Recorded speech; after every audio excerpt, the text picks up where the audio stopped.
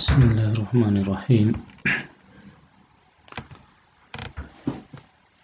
Dear students and viewers, welcome to all of you in S4S videos तो आज हम class fifth का जो ईवीएस है द अर्थ उसका दूसरा लेक्चर है, दूसरा पार्ट है। तो लेक्चर शुरू करने से पहले आप हमारे चैनल को अगर अच्छा लगे तो सब्सक्राइब कीजिए और वीडियो अच्छा लगे तो लाइक और शेयर ज़रूर कीजिएगा तो लास्ट लेक्चर में हमने अर्थ के बारे में पढ़ा था कि जो जो हमारी ज़मीन है, ज़मीन के बारे में पढ़ा था, इसका एक इंट्रोडक्शन पढ़ा था कि ज़मीन क्या है। जितने भी हमारी सोलर सिस्टम है, निज़ाम शमसी है, उसके जो जितने प्लेनेट हैं, सियारे हैं, उनमें से सिर्फ़ ज़मीन ही वो वाहिद सियारा है प्लेनेट है, जहाँ पे लाइफ है, जहाँ पे ज़िंदगी है। और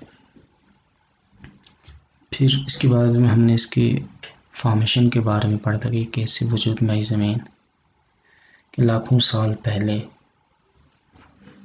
है ना, कि दो तीन कॉन्सेप्ट पढ़े थे हमने, कि किस तरह पूरे गैसेस थे, है ना, फिर उसमें एक एक्सप्लोजन होता है, फिर वो ज़मीन बनी, या सूरज से एक टुकड़ा था फिर उसके ज़रिए से यह बन गई।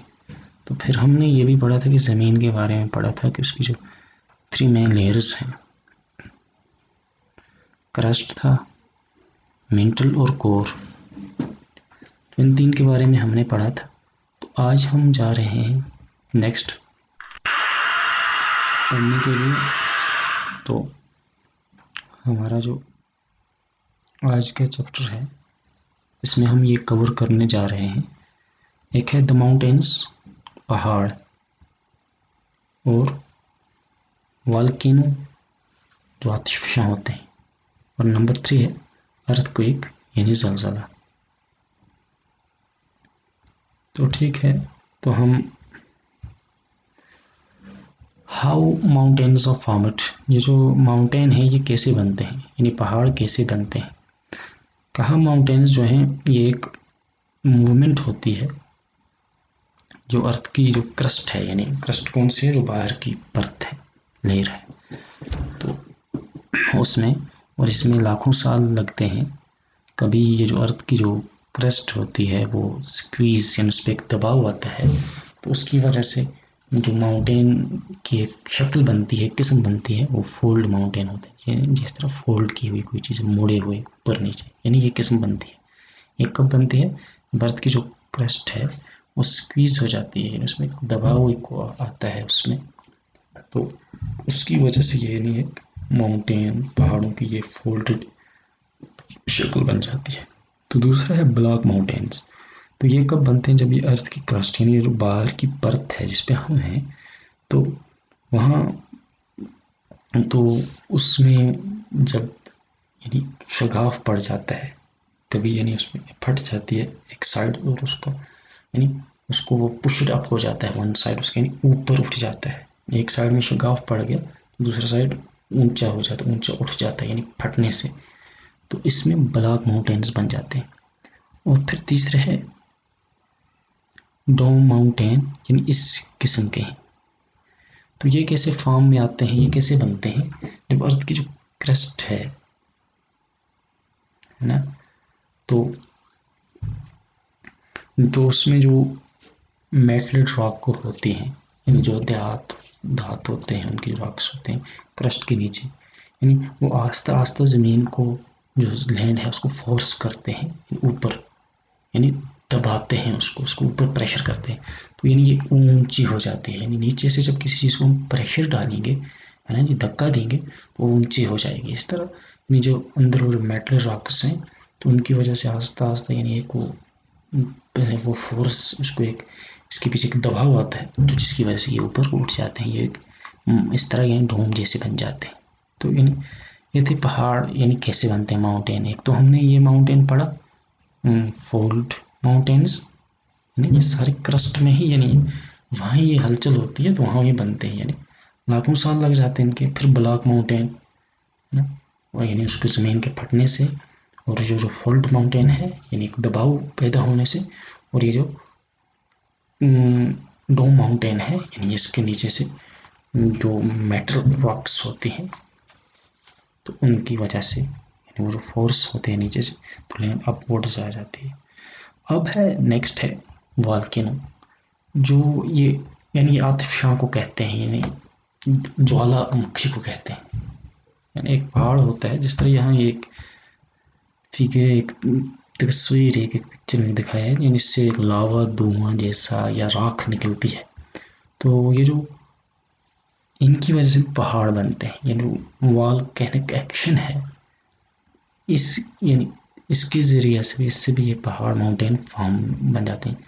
Hard liquid rock often has been forced through cracks in rocks तो कभी ये जो हार्ड लिक्विड होता है, यानी गर्म और ये जो स्याल किस्म का होता है, यानी लिक्विड ये जो लिक्विड होते हैं रॉक्स होते ये, यानी जो रॉक्स होते हैं, यानी थ्रू रॉक यानी उसके जो शगाफों से जब बाहर फोर्स करके निकल आती है तो जब ये इसकी सतह पे आती है तो ये बाहर निकल आती है, यानी यानी ये जो अंदर एक मावा होता है, जो ये मेटल रॉक हैं, या जो इसकी स्टीम है, या फिर रॉक वगैरह एश है तो ये सब क्या है, यानी किसी सुराख से जो सरफेस पे है, इसकी यानी सतह पे है तो इसकी इसकी भी एक माउंटेन बन जाता है पहाड़ी जैसी बन जाती है तो उसको हम क्या कहते हैं वालकेनो कहते हैं। तो यानी वक्तन फ़वक्तन क्या होता है कि ये जो वालकेनो होते हैं, यानी ये बाहर अपना जो हार्ट लिक्विड राख होता है, उसको बाहर ये फेंकते रहते हैं डीलते हैं उस सुराख से, जो यानी उस प्रेशर से सुराख सतह पे सरफेस पे हो गया होता है। तो वहाँ से वो जो मादा निकलता है हॉट लिक्विड और आग उसको लावा कहते हैं एल ए लावा ठीक है? अक्सर ये होता है कि ये जो लावा है, ये जो वाल्केनो से निकलता है, यानी ये नुकसानदेह भी होता है। तो कहते हैं, ताहम, बहुत बार ऐसा भी हुआ है कि पूरी के पूरी सिटीज़ शहर जो एक्टिव वालकिनस होते हैं, यानी ये जो मुतहरक फ़ाल, ये जो आतिशाँ होते हैं, यानी जिनमें से अक्सर ये निकलती रहती है तो इनकी वजह से क्या, यानी पूरे के पूरे शहर के हैं डेमेज यानी बर्बाद हो जाते हैं डिस्ट्रॉयड हो जाते हैं, तबाह हो जाते हैं। कभी ये जो सिटीज़ हैं, वो सारी की सारी किसके लावा के, यानी उन पर लावा का कवर चढ़ जाता है, यानी लावा अपनी ग्रसित में उसको ले लेता है, यानी वो जो मादा इससे निकलता है। तो फिर है अर्थ क्विक्स तो अर्थ क्विक क्या है? यानी जलजला जिसे हम कहते हैं, है ना? तो ये किस तरह होता है? जब बड़ी तादाद में ये जो अंदर रॉक्स होती हैं, चट्टाने होती हैं, वो यानी खिसकती हैं और एक दूसरे से टकराती हैं अचानक तो एक लर्जा तारी हो जाता है, यानी ट्रेम्बलिंग और वाइब्रेशन और क्या, एक हरकत एक होती है, यानी हलचल लग जाती है। तो ये जो फिर ये जो शाकस होते हैं, ये तो ये इनके ज़रिए ऐसे, यानी कितने ज़्यादा ये ख़तरनाक मज़बूत होते हैं, यानी ताकतवर होते हैं ये जो झटके होते हैं, कि इनकी वजह से क्या है कि बिल्डिंगें वगैरह ये भी तबाह हो सकती हैं और बहुत बड़ा नुकसान भी पहुँच सकता है।